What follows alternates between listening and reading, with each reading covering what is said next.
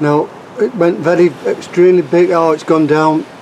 It's going down behind the, the hill now.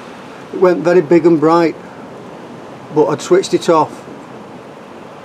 It's, it's coming back a bit bright. It's come back up. It had gone down below the, the back of the hill. Robert Newton speaking. There's another light to the left of it.